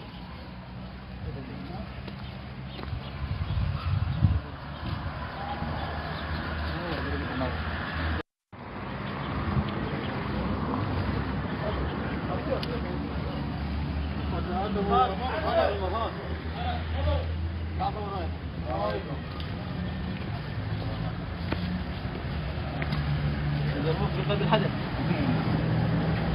تامر المتحال تامر المتحال العافية الله يعافيك. آه، شو اللي صار معكم اليوم؟ اللي صار مش اليوم يوم الجمعة. تفضلي. آه، أج- آه، ما شفنا إحنا كنا قاعدين جوا بالبيت. ما شفنا المية إلا داخلة علينا. لأنه أجت هنا آه، في شركة كانت بدها تعمل الشوارع. أجت سكرت علينا ال- شو اسمه العبارات. يعني بدال الواحد يعمل الشارع بالأول بعدين يسكر العبارات. مش يسكر العبارات وهو جاي موسم شتاء. طب هسه إحنا عندنا موسم شتاء يجي يسكر العبارات أجت المية ما إلها منفذ ما إلها منفذ بالمرة أجت بد... أجت من الوادي كل شوف مية الوادي هاي وكلياتها ومية الجبال كلها أجت علينا يا أبوي وفاتت علينا جاي لأن ما لهاش منفذ. شايف؟ هدمت علينا السور هذا كلياته وهدمت علينا السور هذا وهي في وراء الدار كمان سور هدمت علينا. طيب يا حجة شو الأضرار اللي حجة. جودة. حجة. آه فاتت المية نعم. الأضرار شو الأضرار اللي صارت عندكم؟ الازهر عندي طقم آه كنبيات ب 2000 دينار جبته. بعد جيت والله شو وقاعد جبته اقساط سجاد آه والله وبدفع كل شهر قسط للزلمه والله أقول لك ما صار له ثلاث شهور. لما فتت على الغرفة ما قدرتش. أنا عرفت انه إنه خرب أغراضي. آه، آه، جيت حطيت حرامات مشان ما تفوتش المية والمية فاتت يعني من كثرة. يعني ميه ما. توصفش أخوي ابدا. يعني لما تشوف جدار السنادي هدته. شو شو يعني شو بده ظل إحنا بالدار جوا؟ أقول لك يعني إيش ما ينسى. وفاتت جوا. أنا جوزي مسلول وهي عتقت نايم وما قدرناش للميه نقاوم بيها. هون عندي يجي ست شباب آه، أولاد ثلاثة كانوا اولادي طيب يا حجة وساعدوا يا فيا. حجة شو بتطلب من المسؤولين؟ أطلب من المسؤولين آه، يسووا لي الاضرار هاي اللي خربت كلها كل إشي خرب عندي في- آه، في في راسه هيو نبلوا كبيته على هيو جوا محطوط هيو كله مية. وفي عندي هاي سجادتين 250 دينار شايفين؟ 250 دينار والله العظيم وهيو ال- بحكي لك مع الزلمة اللي انطاني اياه وهي طقم كنبيات جوا. بالغرفة هاي. كله هذا من بسبب بسبب السور بسبب هذول اللي أجوا سكروا. هذول لو اخذوهم أكلهم بسنة والله العظيم موفر. يسكروا شو اسمه يسكروا عبابير وين صارت هاي؟ واحد يسكر عبارة بشهر 11 بعز دين الشتاء. وين صارت هاي؟ الواحد بالاول يبلش بالشارع بعدين العبارة. أو مثلا زبطونا العبابير يفتحوها وزبطوها وبعدين يشتغلوا شغلكم الثاني يصير ولا ما يصير؟ نعم نعم. طيب هيك وخربتوا علينا كل شيء والله وجعتينا قلوبنا يا خالة. يعني ذكرتني بجدودنا لما كانت تيجي السيول ويقنوا لها. يعني بتحكي لو فتحوا العبارات بس يعني والله يعني بتحسها مهندسة خالتنا. معنا الآن على الهاتف المهندس خالد الخشمان عطوفة رئيس بلدية السلط الكبرى. مساء الخير أبو المعتصم. مساء النور على أخي عمر. الله يطول عمرك يعطيك العافية. يعني لو بدنا نعمل تقييم شتوة النص ساعة السلط بلدية السلط هل أدارتها بطريقة صحيحة؟ الناس راضية عنكم آه، وإذا في مشكلات شو شو شو بتبررها؟ يعني من يتحمل مسؤوليتها تفضل أبو المعتصم. والله سيدي الكريم يعني إحنا من فترة طويلة وإحنا نعمل على إعادة تأهيل آه، مجاري مياه الأمطار آه، بكل مناطق السلط تعلم أن السلط منطقة آه، منحدرة جدا وبالنهاية هذه الجبال الثلاثة الموجودة في مدينة السلط تؤدي بأمطارها إلى وسط المدينة. نعم. آه، ناهيك عن أنه الانحدارات الشديدة دائما تعطي جريان آه، كبير وإضافة إلى أنه تعلم أنه بعض ال- بالنهاية مش مبني فيها. والجريان يتم على الأتربة. صحيح. آه، الفترة الماضية كانت بلدية السلطة الكبرى رصدت العام الماضي آه، حوالي 82 موقع بحاجة إلى معالجة تصريف مياه أمطار طبنا لحتى تاريخ تقريبا 64 موقع من أصل هذول 82 وهذا يعني يعتبر جهد ضخم جدا. نعم. آه، الحقيقة خلينا نحكي إنه الأحوال الجوية تحديدا وتحديدا الامطار هناك ثلاث أنواع من الأمطار اللي بتسقط على على الأردن أو على أي دولة في العالم المطر العادي اللي هو المعتاد آه، والأمطار الغزيرة وقد تكون والحالة الثالثة اللي هي آه، الأمطار شديدة ال- ال- ال- الشديدة جدا نعم. مع العواصف الرعدية أها. وأنا بدي آجي أقول كمهندس بدي أحكي تقييما إنه هذا بيعتمد على ثلاث نقاط أساسية؟ شدة المطر النازل مدة هذا هذه هذا الهطول ثلاثة التضاريس الموجودة ال- في المنطقة. إحنا في السلط حاولنا بقدر الإمكان أن نعمل والحمد لله رب العالمين حتى تاريخه نجحنا في أن ندير هذا الموضوع ولم يشاهد في السلط شيء كبير ولا ضخم وعدم وجود تجمعات كبيرة. لكن أنا بدي أقول إنه الجريان الشديد دائما بيؤدي إنه الاتربه بتنزل على و...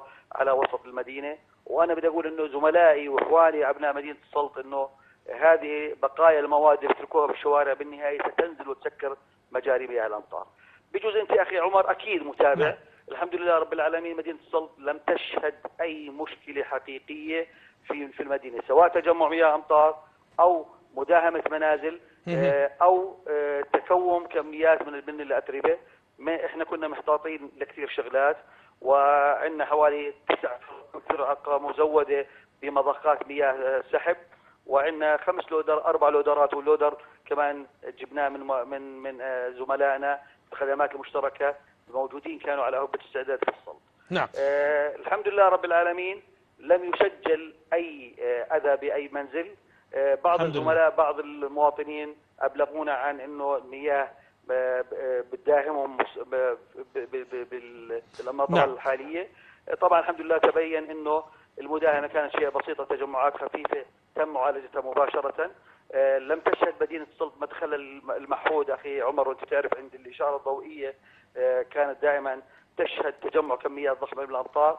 البلدية قامت بتنفيذ عبارات والحمد لله رب العالمين. ما تجمعت المرة هاي عند عند لا الإشارة ما مهندس؟ يا شيخ لا ما نعم. جمعت. نعم ما هلا ال- ال- الحكي ال- الزملاء بعض المواطنين بيقول إنه هذه الأمطار لما نزلت من الشارع ال- ال- الشارع العلوي باتجاه السفلي. طبعا كانت كانت متسارعة بشكل كبير. الحمد لله رب العالمين لم يصب أو لم لم تؤثر على اي شيء من المواطنين. آه الحمد لله نأمل. إنه دائما نكون على الجاهزيه لكن أنا أخي عمر بدي أقول للمواطنين وحقيقة ويجب أن نعترف جميعا أن البنى التحتية الموجودة حاليا في كل البلديات ليست صالحة لاستقبال الظروف غير الطبيعية. صحيح صحيح. الظروف غير الطبيعية. لكننا إحنا يعني إدارة الأزمة بحاجة إلى حنكه وإدارة متميزة حتى نستطيع أن نخفف من أي آه، أذى قد يلحق بالمواطنين. نعم. آه، لذلك لا نقول إنه إحنا بجاهزية مطلقة لكن الحمد لله رب العالمين. الحمد لله. بلديه السلطة استطاعت يعني, أن يعني مهندس خالد يعني باقتدار. للأمانة العوامل الثلاثة آه، السلبية اجتمعت عندكم في السلط. مدة ال- تساقط المطر كانت قصيرة حجم التساقط والتضاريس صعبة لكن قصة نجاح كانت في بلدية السلط. أنا كثير سمعت آه، يعني تغذية راجعة من المواطنين في السلط يشيدوا بإدارة الأزمة آه، في المرحلة الأخيرة. أشكرك أبو المعتصم المهندس خالد شكرا. حبيبي الحمد لله رب العالمين الحمد لله رب العالمين. ما توفيقي إلا بالله. الحمد لله. شكراً شكرا. مهندس خالد. شكرا شكرا. نلتقيك إن شاء الله على خير. اذا نذهب أيضا معنا مواطن من الرمتة آه، أيضا تعرضت لأمطار غزيرة. معنا الأخ خضر بركات من الرمتة تفضل خضر. السلام عليكم يا سيدي. عليكم السلام ورحمة الله. يعطيك العافية. كيف أوضاع الرمتة كانت أخوي خضر؟ والله يا سيدي مناطق مناطق. يعني أها. في مناطق منخفضة والله تأذت كثير.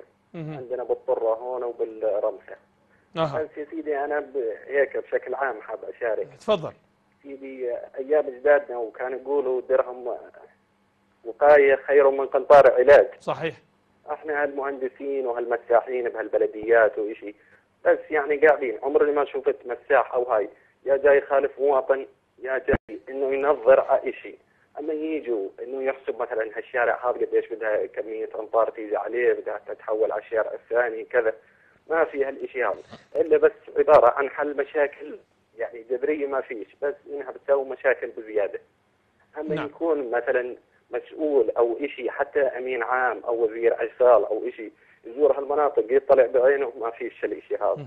بس يعني عبارة عن جباية ضرائب ومثقفات الدنيا وبيجي على راسه المواطن. نعم. يعني أنت أستاذ ما خضر ما بيحلوش شيء يعني حتى هاي والله والله انت أنت يا خضر يعني جبت جبت الصافي أو أمي أو شيء هالبشهد والله إنه بحزن. طيب. أنا أنا أشكرك خضر بركات من الرمته خضر جاب لنا الصافي درهم وقاية خير من قنطار علاج. تحدث عن وإحنا بحالة ال- الهدوء والسكينة والبلديات بتشتغل شوف إيش عندنا مشاكل وأزمات. ليش ما بنفكر؟ ليش ما بنزور الشارع وبنعرف وين المناطق والمشاكل؟ ترى في قصص نجاح وأنا حكيت عن السلط وقصدت اليوم إنه في كثير من المناطق بالسلط كانت تتجمع فيها الأمطار ما شفناهاش هيك.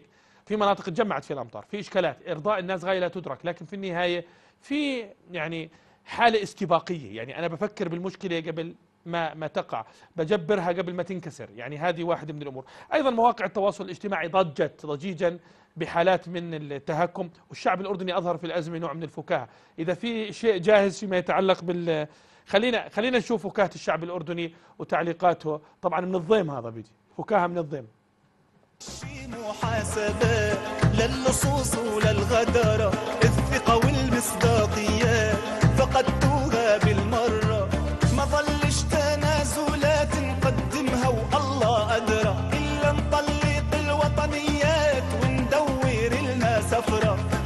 ونستورد أجنبيات وتعنس فلحة وخضرة ساعتها هالنشميات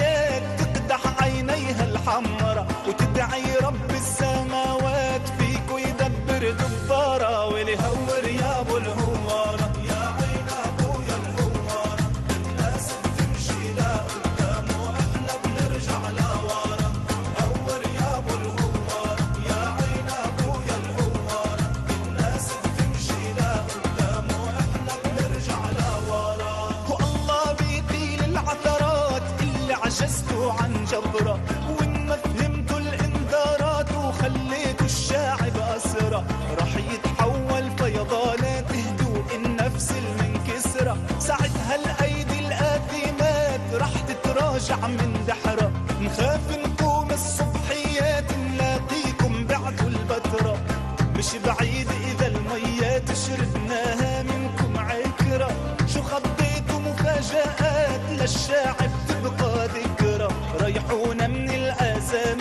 وشاركونا بثمارة ولدور يا أبو يا عين أبويا ناس بتمشي لقدام ونحنا بنرجع لورا ولهور يا أبو الهوارة يا عين أبويا ناس بتمشي لقدام وإحنا بنرجع لورا ناس بتمشي لقدام بنرجع لورا يعني عجبني نامق وزير للنقل يعني. عدنان شو بده يكون وزير شو؟ وعبسي ولينا. يعني آه، أسئلة كثيرة. ترى وزيرة النقل هي لينا شبيب. آه، آه، واضح أنه التواصل الاجتماعي ومواقع التواصل الاجتماعي ضجت بالقصة وحالة تهكم من المواطن الأردني. تستدعي هذه القراءة. لذلك معنا الآن على الهاتف الدكتور إبراهيم أبو عرقوب عميد كلية الإعلام في جامعة الزرقاء وعالم الاجتماع المعروف. مساء الخير دكتور إبراهيم. مساء النور. حياك الله يا أخي. دكتور إبراهيم يعني لما نروح على مواقع التواصل الاجتماعي بعد الشتوى الأخيرة يعني إبداعات الأردنيين حدث ولا حرج، كيف تفسر هذه الظاهرة؟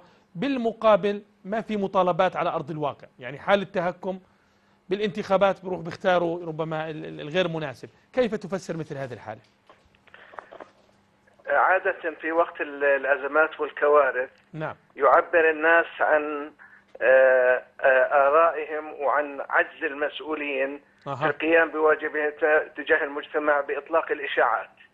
حلو. قد تكون هذه الإشاعات على شكل نكات وهذا منتشر بشكل كبير في المجتمع الأردني لتوصيل الرسالة للمسؤولين بطريقة غير مباشرة. بعض المرات يعبر بالنكتة على شكل كرتون في في الصحيفة.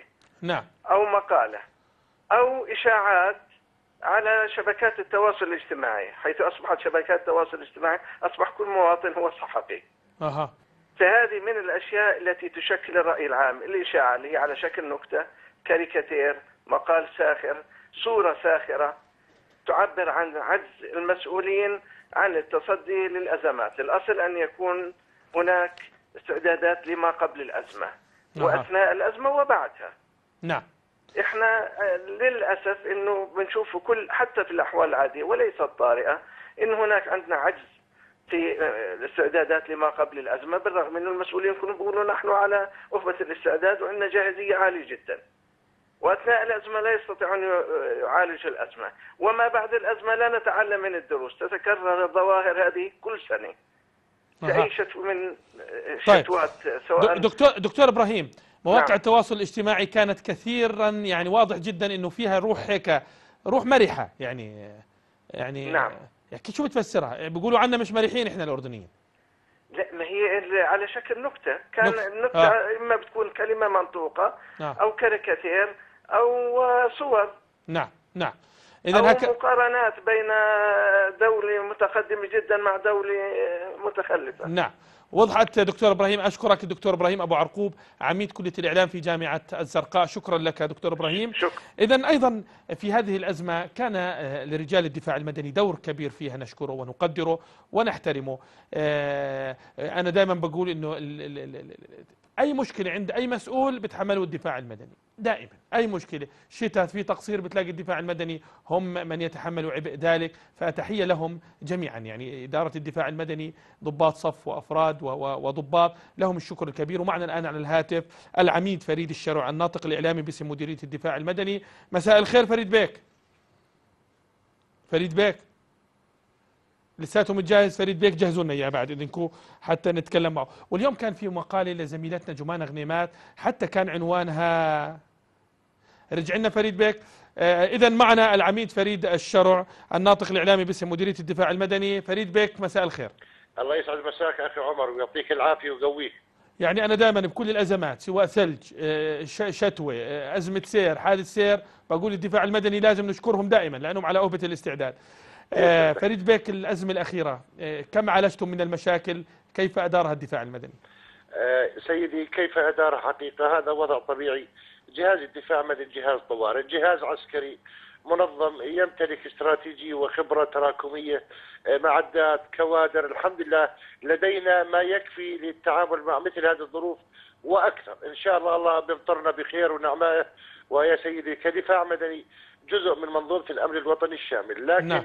آه، أخي عمر أنت تعلم قبل قليل كنت مع الاستاذنا الدكتور الإعلامي برضو أستاذ إبراهيم أشار لنقاط حيوية آه، الحقيقة إذا لم يكن العمل تكاملي يعني مهما صحيح. كان جهود الدفاع المدني إذا حتى على مستوى الإعلام إذا لم يكن هناك تعاون وجسر ما بين المسؤول والمواطن يوصل رسالته ويؤشر على مواقع الخطر كما يشيد بمواقع التميز والعطاء آه، بتكون المعادلة ناقصة معادله. شق شقين سيدي. في هناك مؤسسات رسمية وطنية معنية بالجاهزية وبالتالي آه، أداء رسالة وطنية في وبالأحرى أو أقل تعبير أداء واجبها اللي نعم. مطلوب منها. وبالتالي الشق الآخر متمثل في المواطن نفسه آه، أن يتخذ سيدي سبل الوقاية المسبقة. لكن أحيانا قد تكون الأمور تفوق قدراته الشخصية وحتى تفوق قدرات الأجهزة المختصة. نعم. لكن كدفاع مدني إحنا آه، يعني الدفاع المدني تلخيصه سيدي الدفاع عن المدنية عن الحضارة. بمعنى كل ما ينتج عن التطور والتقدم من حوادث بالتالي وإشكالات إحنا نتعامل معها. على مستوى الانشائي على مستوى الظروف الجوية على مستوى الصناعة بكل الاتجاهات. هذه الظروف الجوية سيدي هي ميداننا حقيقة. نعم. والخبرة بحمد الله التراكمية سواء في الشق العمليات الميداني أو في الشق التوعوي الوقائي اللي من خلالك أخي عمر أكثر من مرة تواصلنا في أكثر من وسيلة إعلامية وإرشادات وتحذيرات. لكن صحيح. أقول سيدي إذا لم يكن هناك يعني آه، بنية تحتية متكاملة آه، يبقى المواطن يعني مهما اتخذ من استعدادات آه، لن يستطيع إنه يحافظ على سلامته. وارواحه اليوم آه، أمس حقيقة كان بالنسبة لنا يوم حافل بالتعامل الميداني. تعاملنا مع 120 حالة آه، مداهمة للمياه خاصة في مناطق الغورية الشمالية المشارع أو في مناطق بني كنانة أو. في منطقة عمان البلقاء. هذه المناطق الأسويلح كانت حقيقة هي الميدان اللي اشتغلنا فيه. ويعني المداهمات بمعنى آه، آه، للمنازل التي قد تكون تضررت فيها بعض الممتلكات. للأسف يوم أمس فقدنا ثلاث أرواح عزيزة على قلوبنا. الله يرحمه الرحمة الواسعة. الله يرحمهم. أحدها سيدي كان سيدة في منطقة المشارع منطقة القليعات وادي المشارع سحبتها المياه. ويعني هنا أشير أيضا سيدي إلى أنه يعني غزارة الأمطار ووجود بعض السكان في نوع من التعدي على جوانب الأودية بالسكن يعني. صحيح. وكما تعلم إخواننا في الأغوار يعني حياتهم بسيطة مبانيهم بسيطة. فيعني مجرد أنه هكذا سيل جرف بيوت في طريقه. وأيضا لنا العتب بعض على بعض إخواننا أصحاب المزارع في المناطق الغورية. وأنا أقول ذلك وأنا متأكد إنه في آه، منخفضات قادمة. إذا كانت بهذا العمق أو أكثر ستتجدد نفس المشاكل لأنه آه، بقايا المخلفات المزارع ترمى. في آه، الاوديه والسيول لذلك هذا سيدي وضع طبيعي يعني الطبيعة لا تعاند وبالتالي نعم. المياه ستجرف هذه المواد ولما بتصل لفوهة العبارة آه، بتصطدم فيها وبالتالي بتغلقها وأكيد بتكون غير فاعلة بتفشل في مهمتها وبتصبح المياه آه، يعني خارج هذه العبارات وبالتالي بتأثر على المناطق السكنيه المحيطة. نعم. أتمنى سيدي عن اخواننا خاصة في المناطق الغور إن يتخذوا سبل وقايه سريعا قبل أي منخفض آخر بإبعاد السكان عن جوانب مثل هذه الأودية نعم. اللي راح ضحيتها سيده جرفتها المياه لمسافة 30 آه، 30 3 كيلو تقريبا نعم وتم انتشالها الله يرحمها الرحمة الواسعة الله يرحمها و- وإحنا- وأيضا نفوق أعداد لا بأس فيها من ال- ال- ال- الأغنام والماشية نعم. في يعني إحنا يعني في في النهاية يعني آه، دكتور فريد يعني بنشكرك وبنشكر يعني جهاز الدفاع المدني صراحة ويعني حابين توصل هذه الرسالة لهم على جهودهم خاصة في الأزمات. الكثير يكون جالس على المكاتب وأنتم في الميدان. أشكرك العميد الدكتور فريد الشرع الناطق الإعلامي باسم مديرية الدفاع المدني. شكرا لك وإن شاء الله سنتواصل معك في قادم الحلقات بشكل مفصل للحديث عن هذا الجهاز الذي نعتز به. معنا الآن أيضا على الهاتف عطوفة المهندس حسين بني هاني رئيس بلدية إربد الكبرى مساء الخير عطوفة المهندس. مساء النور يا سيدي الله يحييك. يعني أنا عجبني تصريحك بلديه اربد بدها 60 مليون. آه يعني تقريبا. حتى ابدا ما يبطل في مي بالشوارع. إن شاء الله. يعني. أين المشكلة؟ يعني حينما حينما يعني أين المشكلة؟ المشكلة في في في استعدادات وإدارة الأزمة أم المشكلة حقيقة في البنية التحتية وإمكانات البلديات؟ مهندس حسين وأنت على رأس بلدية كبيرة وهامة في البلد. تفضل. يا سيدي الله يمسكم بالخير جميعا. الله يمسك بالورد طبعا إحنا بالنسبة للموضوع اللي زي ما تفضلت حضرتك خلينا نبدأ من حيث أنت بديت. إنه باربد بحاجة إلى 60 مليون دينار. طبعا اللي هو بنقصده بالنسبة لمشروع اللي هو تصريف مياه الأمطار. نعم. يعني كل مدن العالم اللي هي بتعتمد على بالشتاء وبال بالظروف الجوية. خلينا نقول. آه، اللي هو تصريف مياه الامطار إربد مش مخدومة معظم شوارعها أو مناطقها بأكثر من 40% من الله. آه، تصريف مياه الامطار مم. هاي واحد.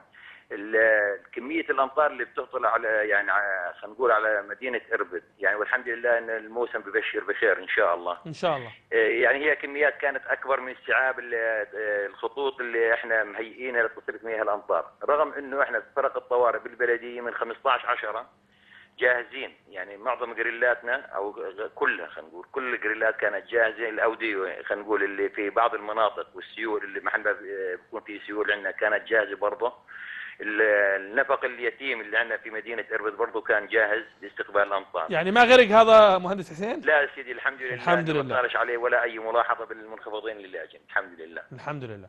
آه. فالوضع تمام لحد الآن. وطبعا يعني مدينة إربد الملاحظات اللي أجتنا بالمنخفض السابق والمنخفض اللي أجى قبل يومين الحمد لله عبارة عن ملاحظات بسيطة جدا. نعم. موضوع سيارة التاكسي اللي صار عليها تركيز خلينا نقول إعلامي أها. كان يعني للأسف يعني سوء تقدير من السائق نفسه. يعني كانت كوادر البلدية موجودة بالمنطقة هناك كان عبارة عن تجمع كميات مياه كبير من منطقة منخفضة باربد يعني. وبلغوه إنه بده ساعة الشارع حاطط الجريلات تستوعب كميه الامطار وتصرفها فهو صرح إنه أنا معي غواصة معيش سيارة. فلما نزل الأخ آه، غرق هو السيارة. وأنقذنا الحمد لله كنا موجودين يعني. الحمد لله رب العالمين. هاي الملاحظة الوحيدة اللي كان عليها. والباقي كله ملاحظات بسيطة جدا. بعض المياه دامت بعض البيوت. بجوز تقصير من صاحب البيت إنه مش عامل رصيف أو آه،. يعني أو بيته منخفض عن مستوى الشارع. شغلات بسيطة. في آه، واجهتنا مشكلة إنه بشارع كانت المي ما تتصرفش. لما نزلوا كوادرنا وجدوا للأسف إنه في صاحبة بيت مجاور هناك حاط مخدات وسفنجة بالمنهن نفسه بالجريل يعني أها. سكريته مسكريته. لأنه كاين بعض الأمرار إنه يطلع روايح. آه، هاي شغلات كلها كانت عبارة بسيطة. آه، باقي الأمور كانت تمام والحمد لله. مقارنة مع المدن الثانية اللي سمعناها نعم. اذا مهندس حسين أنا بدي أشكرك وبس حاب أحكي لك إنه إحنا راح نستضيفك هون إن شاء الله بعدين بدنا ناخذ منك موعد لأن الشباب تحت الهواء راح يتناقشوا معك. ضروري بنحكي عن كثير آه، مشاكل إربد ونتواصل مع أهلنا في إربد. شكرا سيدي. حياك الله وإحنا الله بنتشرف. أشكرك المهندس حسين بني هاني عطوفة رئيس بلدية إربد الكبرى وربما واحدة من الملاحظات اللي هامة اللي قالها أنا بدي أعقب عليها.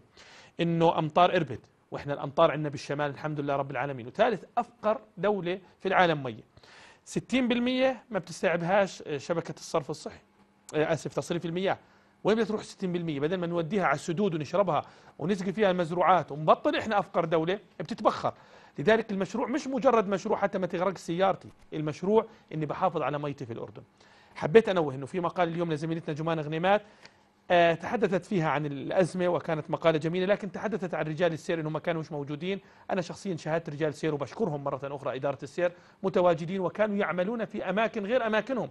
يعني كانوا يقوموا في عمليات إنقاذ أحيانا أو عمليات تصريف مياه إلى آخره. فهذا الجهد أيضا يشكرون عليه إدارة السير المركزية. إذا في نهاية حلقتنا اليوم ربما سلطنا الضوء على مسألة مهمة جدا ليست مجرد نص ساعة شتوى إنها مشكلة البنية التحتية المترهلة في الأردن التي تحتاج قرار وطني حقيقي. قرار وطني حقيقة. وأنا بقول للدكتور عبد الله نسور بدل ما تروح على الملكية وبدل ما تروح على المشاريع والمؤسسات المستقلة اللي خسرتنا وودتنا يعني إلى إلى أبعد مما نظن في المديونية. خلينا نروح على البنية التحتية. خلينا نعيد تأهيلها. خلينا نشوفها زي الثمانينات. بالثمانينات لما كانت تيجي المطر وأشد من هيك ما كنا نشوف هذا الكلام. ليش؟ لأن البنية التحتية كانت شابة وحقيقية. لكن اليوم في مشكلة كبيرة بالبنية التحتية. الناس اتسعت بتجيبوا لاجئين وبتعملوش بنية تحتية. الناس معدل النمو السكاني بيزيد وبتعملوش بنية تحتية. بتأخذوا ضرائب وبتعملوش بنية تحتية. بتأخذوا مخالفات زيادة وبتعملوش بنية تحتية. بزبطش. بزبطش. أنت بتأخذ مني أعطيني. أنا لما أدفع لأمانة عمان 466 مليون ميزانيتها وبالمقابل بتقدم ليش؟ ما يعني هذا سؤال مفتوح وسؤال خطير. لذلك قصة البنية التحتية خلينا نعترف إنها مسألة لابد أن يعاد النظر فيها. أختم أشكركم أعزائي المشاهدين على مداخلاتكم القيمة. نلتقيكم إن شاء الله في حلقة قادمة. أستودعكم الله والسلام عليكم ورحمة الله وبركاته.